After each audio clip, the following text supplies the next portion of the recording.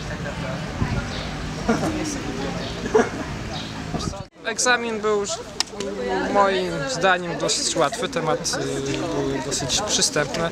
Ja wybrałem sobie się temat drugi o Żeromskim, jako że jestem fanem jego twórczości.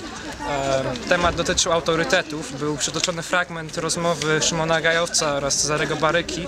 E, To dosyć znana cena sprzed wiośnia, ponieważ tam jest, y, on opisuje te wszystkie portrety w swoim gabinecie.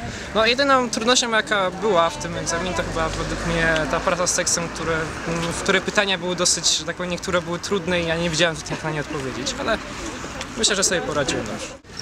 Powiem szczerze, że nie spodziewałam się takiego zestawu tych e, prac do napisania. Znaczy trudny tych był? tematów. Znaczy takie dosyć nietypowe, bo Gloria Victis i generalnie się tego nie spodziewałam. I tekst dotyczył granic poznania ludzkiego. Także było to dosyć ciekawe. Nie spodziewałem się takiego doboru lektur na tej maturze, w sensie to, to nie jakieś klasyczne. No w sumie to takie, no jedne z takich trudniejszych, mniej, rzadko No. spotykanych, nie tak dokładnie omawianych y, na lekcjach. Wybrałem drugi temat, w którym trzeba było mówić o roli i jak mm, Żeromski charakteryzował autorytet w przedwiośniu. Tam parę razy, Aha. pierwszy i drugi. Um, no tekst ten w pierwszej części był dosyć ciekawy, ale pytania takie, obawiam się, że to dosyć takie podchwytliwe, ale myślę, że jakoś z tego wypłynęło. Y, Nie spodziewałam się Żeromskiego. Jak tylko go zobaczyłam, to o, fajnie, no dobra. E, natomiast To nie jest twój ulubiony autor? no tak średnio, za nim przypadam. W sumie najlepiej byłam przygotowana z romantyzmu. No ja, jeżeli mogę coś powiedzieć na temat tego egzaminu, to to, że nie był jakiś to rzeczywiście bardzo trudny. Oczywiście no, dla ucznia liceum ogólnokształcącego, który uważał jako taką na lekcjach języka polskiego.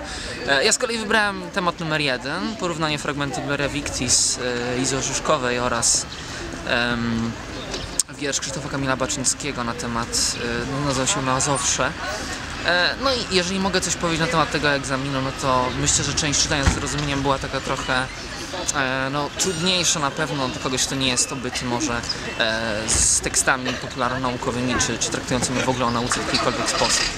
Poza tym to no, y, nie do końca rozumiem, dlaczego wielu uczniów w Polsce boi się matury z polskiego, czy też y, jakby uważają za jakąś hekatombę, czy, czy, czy, czy straszną rzecz.